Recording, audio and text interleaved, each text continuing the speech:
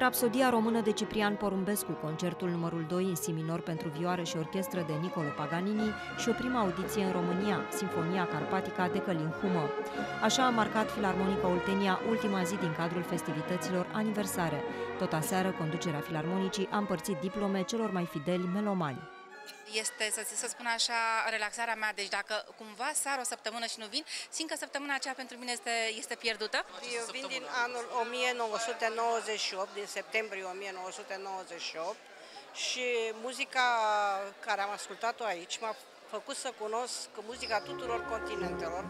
Prin spectacolul de aseară, Filarmonica Oltenia a încheiat o săptămână de concerte speciale.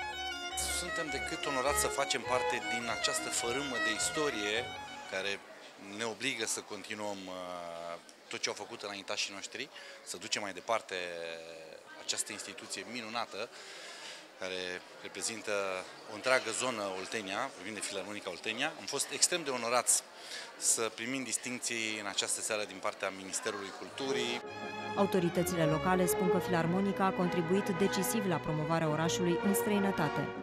Anii care au trecut ultimii patru ani de zile au fost uh, un salt valoric uh, și calitativ al filarmonicii extraordinar.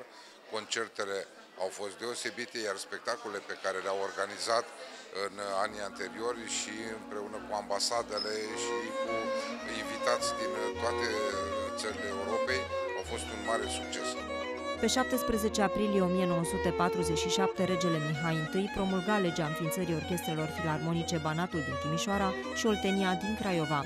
Prin acest act normativ, în cetatea Băniei urma să fie reorganizat un colectiv artistic, a cărui activitate debutase de fapt pe 17 decembrie 1904.